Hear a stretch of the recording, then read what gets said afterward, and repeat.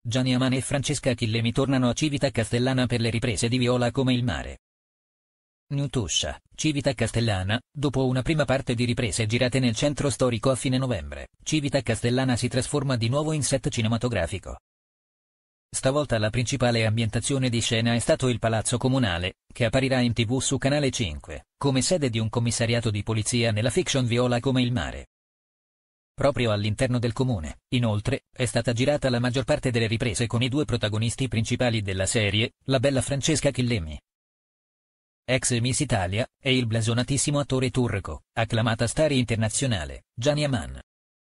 I due hanno animato le sale del municipio, trasformate per un paio di giorni in set di scena, camerini personali e aule di staff.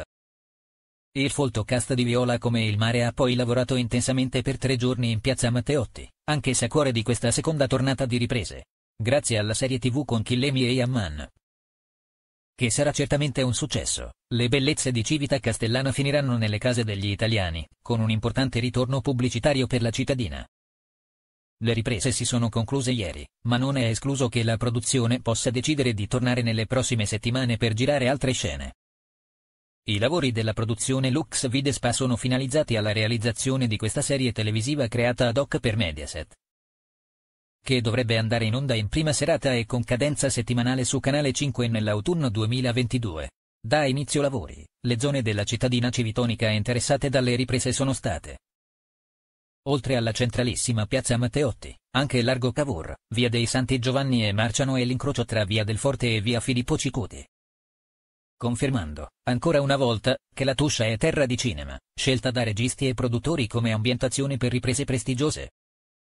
Siamo felici di poter ospitare nel nostro comune produzioni cinematografiche di questo livello, ha commentato il sindaco Luca Giampieri.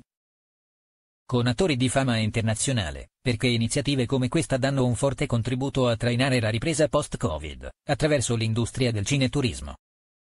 Queste esperienze sono un buon viatico per il territorio e rappresentano una vetrina unica nella sua tipologia per esportare l'immagine della nostra cittadina.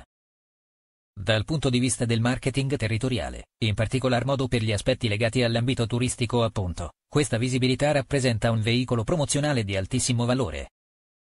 È fortemente orientato all'amplificazione della notorietà dei nostri paesaggi e territori,